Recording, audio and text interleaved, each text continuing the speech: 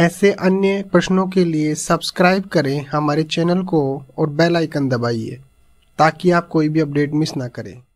Person सोम प्रकाश, उत्तर ईश्वर चंद विद्यासागर द्वारा अठारह में कलकत्ता से बंगाली भाषा में सोम प्रकाश का प्रकाशन किया गया, जो एक राष्ट्रवादी समाचार पत्र था। लेटन इसके विरुद्ध वर्णा कयूलर प्रेस एक्ट अठारह सौ अठहत्तर लाया।